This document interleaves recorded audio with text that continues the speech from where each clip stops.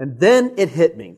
I think it was the time I was working with Windows XP and I had to reinstall the activation code for the 15th time and I was getting frustrated and suddenly, suddenly I saw the light.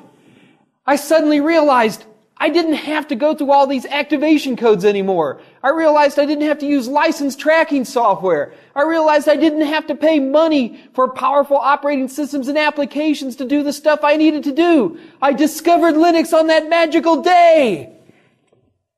Let's start off with one of the classics. This is a web browser. This is good old Mozilla. Mozilla is from the old Netscape world. And Mozilla provides us a powerful, powerful web browser to do web browsing. For example, uh, I see HTTPD, that means my web browser. The HTTPD, that means my web browser, my web browser, my web browser, my web browser,